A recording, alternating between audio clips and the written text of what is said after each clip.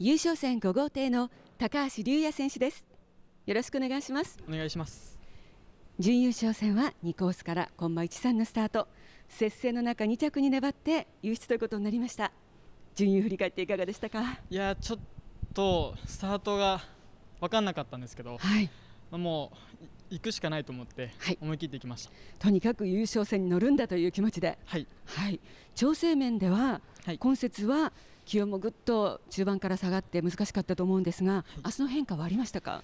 えー、っとそうですね。なんか一節間通してあんまりこう調整がしっくりこなかったんですけど、まあ、今日の方向性で叩けばいいのかなって感じがしたんで、はい、明日もちょっとこの方向性でいこうと思います。はい優勝戦まだ調整合わせる余地を残しながらということですね。はい、はい、枠は5枠ですけれども、はい、どんな戦いをしたいですか？そうですね。えっ、ー、と6が大口さんなんで、まあ大口さん次第にはなると思うんですけど、はい、コースは譲る気ないんで、はい、はい、5コースから思い切っていきたいと思います。はい、ターンの方でしっかりと勝負と。はい、はい。